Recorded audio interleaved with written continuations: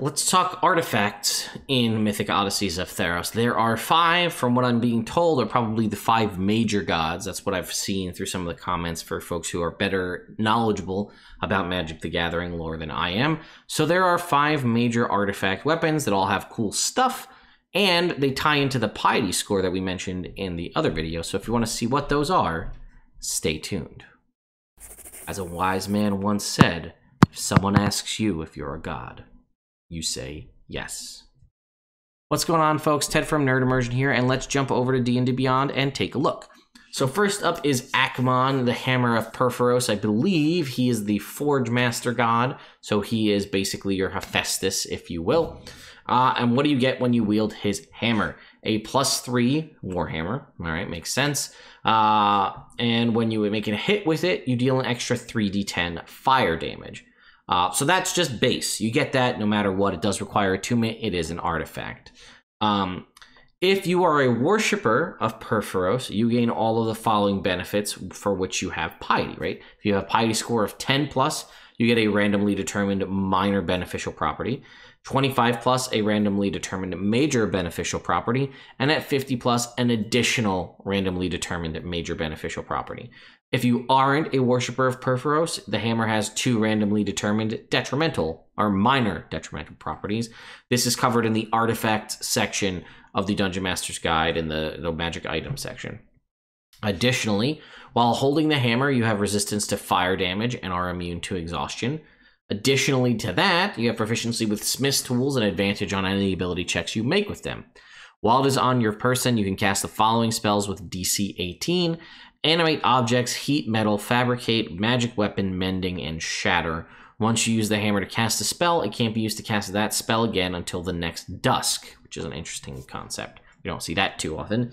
And then there are sections here about destroying the hammer. To destroy it, it must be taken to the realm of Tyzarus in the underworld. I guess that's like Hades.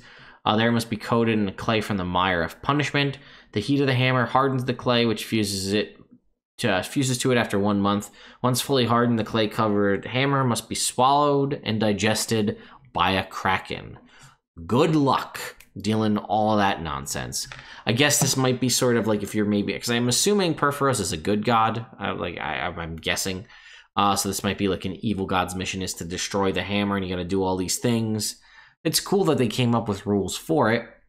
Um, it's definitely a badass weapon, right? For sure. Um, right. If you could be, I can easily see, right, you being the uh, the Purphoros Forge cleric, uh, with some other good, like with the anvil wrought supernatural gift. So you're like you're basically a warforged. You get that molten skin armor. You have this badass hammer because you're pious to this. Like, there's a lot of stacks of things that can happen. The only downside is, I think one of Purphoros uh, maybe it's either Purphoros or Heliod gives you um, fire resistance, and then like so does the hammer. So if like they gave you the same thing, it kind of doesn't make a ton of sense. Um, I also don't know the ways in which you would typically gain these. Um, like this is like a god's weapon. What for what reason did Purphoros gift you this weapon? I don't know. Then we have Dekella, the Bident of Thassa. First of all, this is the first time I've ever actually seen Bident as a word. I know it exists, right? If Trident exists and Quadrant could theoretically, in theory, you know, essentially exist, uh, and I guess a bident is two pronged, and I guess you just have a spear for a unident would just be a spear. But yeah, I've never heard the term bident, so this was a like a little chuckle out of me. Um, bident of the deep as a plus three tri. It see, it acts as a trident. I feel like it should have its own unique stat block because it's a bident. But anyway, um, when you hit with an attack with it, it deals an extra 2d10 cold damage. And you'll see they kind of all have the same thing, right? They, are a plus three weapon, they deal extra damage. They have a piety section where you're going to get some different things. So it's not the same though. For this one, for piety 10 plus, you gain a uh, you can breathe underwater and a swim speed of 60 feet. 25 plus is a minor beneficial property randomly determined. 50 plus a randomly determined major beneficial property. If you aren't a worshiper of Thassa, you get uh, it has one minor detrimental property and one major detrimental property. Um, if you hold it as an action, you can change the condition of the sea within one mile of you, creating strong winds and heavy rains that cause violent waves or a calming storm. In either case, the unnatural weather lasts for one hour before returning to normal. Once you do this, you can't do it again until the next dusk. Additionally, you can cast Dominate Monster with a save DC of 18 on beasts and monstrosities that have an innate swim speed. So it's like a trident of fish command, but like seriously jacked up. That's also once until the next dusk. Um, you can also cast True Polymorph with a save DC of 18 from the Bident, but you must cast it on a creature to turn it into a kind of creature that has an innate swim speed. Once used, this property of the Bident can't be used again until the next dusk. To destroy it, it must be heated by the breath of an ancient red dragon, and then while still hot, immersed in the Tartyx River. I wonder if that's like the river Styx. Um, a reminder that True Polymorph is got there's that thing. I think where is it? Um, I thought True Polymorph had something, or maybe that's shape change, where if you stay in that form for too long, uh, you can become that one forever. Is that True Polymorph? Um, creature to creature. Let's see. Uh, hit points of the new form. You concentrate on the spell for the full duration. The spell lasts until it is dispelled. Um, yeah. So in theory, this is very godlike, very you know Greek mythology, like where you could turn somebody into like a fish, and like in theory they're a fish forever if you concentrate on it for the full hour, which could be interesting. Uh, Athixis, the bow of Nylea. Nice to see a bow get some love here. Bow of the Wild. This is a plus three short bow and a quiver with so it's both the bow and the quiver with four arrows. Each one is tied to the four seasons. I also love the lore behind this.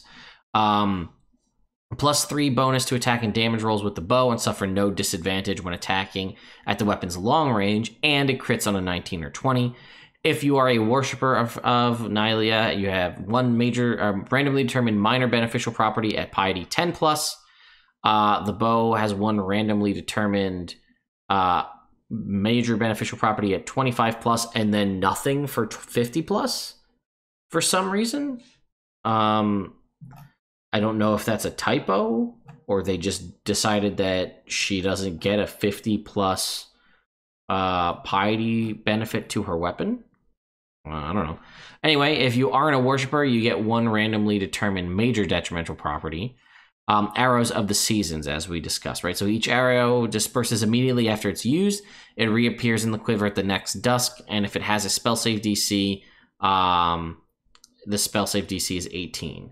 So the spring arrow, uh, as an action, you fire the arrow to target a beast or plant within 320 feet. It deals no damage, but the target gains the benefit of the awaken spell for eight hours. The summer one, um, as an action, you fire it at a space on the ground you can see within 320 feet with no attack roll required. A Nyxborn Lynx, which is a creature we'll talk about coming up, is summoned in its space using the stat block for a tiger with the Nyxborn traits from chapter 6 of this book. Um, the Lynx understands your verbal commands and obeys them as best it can. It takes its turn immediately after yours. It fades away after an hour. The Autumn one uh, chooses space within 320 feet and cast Wall of Thorns there. And the Winter one chooses space within 320 feet and cast the Ice Storm spell there. Um, it can't be destroyed without first destroying all of its arrows. The winter arrow must be fed to Cerberus on the winter solstice. The spring arrow must be planted at the base of a black oak of asphodel on the spring equinox.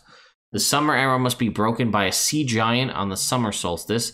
Then the autumn arrow must be shot into the carcass of a hydra on the autumnal equinox. When all four arrows are, arrows are destroyed, the bow and quiver dissolve into dust. We have Khrusor, the Spear of Heliod. Um, this is a Spear of the Sun. It's plus three to attack and damage, and when you hit with it, they take an extra 2d8 uh, radiant damage. See, we've got now this one, interestingly enough, gets a piety score of three plus if you're a worshiper, 15 temporary hit points each day at dawn. Uh, piety of 10 plus is a randomly determined minor beneficial property. Uh, 25 plus is an additional minor beneficial property, and 50 plus is a major beneficial property. So maybe Nylea just doesn't get anything better than that. I don't know. I guess maybe that is by design. Um, if you aren't a worshiper of Heliod, you get two randomly determined major detrimental properties. It sheds light in a 30 foot radius and an additional dim light in another 30 feet. It is sunlight. Uh, whenever you take damage from a creature within 5 feet of you, you can use your reaction to make a melee attack with the spear against that creature. On a hit, the spear deals damage as normal, and the creature is blinded until the start of its next turn. Once on, uh, can't be used again until the next dawn.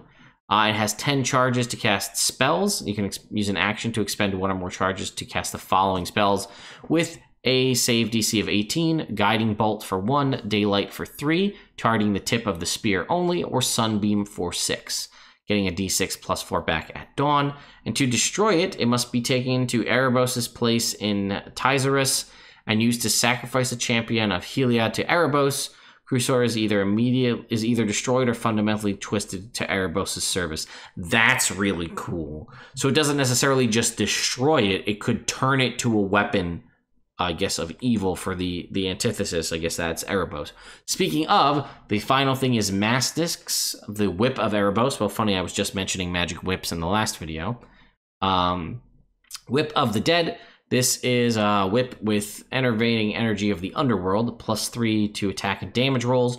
When you hit with an attack using this whip, the target takes an extra 2d8 necrotic damage, and you regain hit points equal to half the amount of necrotic damage dealt. Very cool.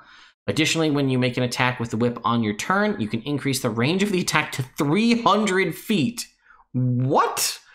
oh, the web the property can't be used until the next one. That's bananas. But that's like in every video game or anime where someone has a whip. It just seemingly has unlimited range when it needs to. That I think is too funny. Um, if you're a worshiper of Erebos, you gain the following benefits based on your piety. Only one plus piety, a minor detrimental property, a burden of Erebos imposed to test his faithful. That's actually very thematic. I like that. Uh, 25 plus a major beneficial property, and 50 plus an additional major beneficial property. Uh, if you aren't a worshiper, it comes with two randomly determined major detrimental properties, and then Erebos' claim.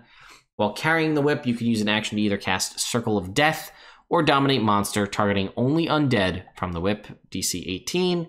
Uh, can't do it again until the next dusk. And to destroy the whip, it must be taken to the heights of Mount Hyos, Hyostos in Nyx unraveled by a returned and left to bask in a continual daylight for one month. I'm going to guess that's sort of like um, Olympus or the Elysian Fields. Basically, you got to take it to the antithesis of the underworld. Um, either way, that's awesome. That makes me want to make a cool magic whip. I feel like I'm going to and add it into one of my games. Um, I do that often, actually. I add in cool magic whips, and nobody ever uses them. I guess I'm just the biggest Castlevania fan in any of the D&D games that I run and nobody else wants to be the whip guy or gal. Uh, and it just bugs me because I'll come up with a really badass. I had like a whip that was made out of lightning. I was really pumped about that, and nobody used it. They just sold it. bummer. Anyway, that's it for the magic items. Uh, again, there was a couple things that were mentioned, like different creatures, and there was sort of the uh, the golden fleece type item uh, mentioned, but that's more tied to the creature itself. So we'll talk about that um, when we get into the monsters, which should be the next video. Uh, I'll just say buckle up for that one. It will be longer, right? There are a lot of monsters in this book, so um, which is a good thing. Uh, so just keep that in mind. Anyway, thank you again so much for watching. Thank you to my patrons over on Patreon for continuing to support the channel. And if you haven't subscribed, well, I would appreciate it if you did so. It does help me out. Uh, just in case you're wondering, flat subscriber numbers does not equal, you know, cash for the YouTuber. That's just not how that works. It just helps the channel grow, helps get it in front of more people's eyeballs, and it makes me feel good to see that number go up. And like I said, if I could get 50k by my birthday on the 12th of July, well, that would be a pretty badass birthday present from all of you to me, and the giveaway that I will do for that. Oh, just you wait. Thank you so much for watching, and I'll see you next time.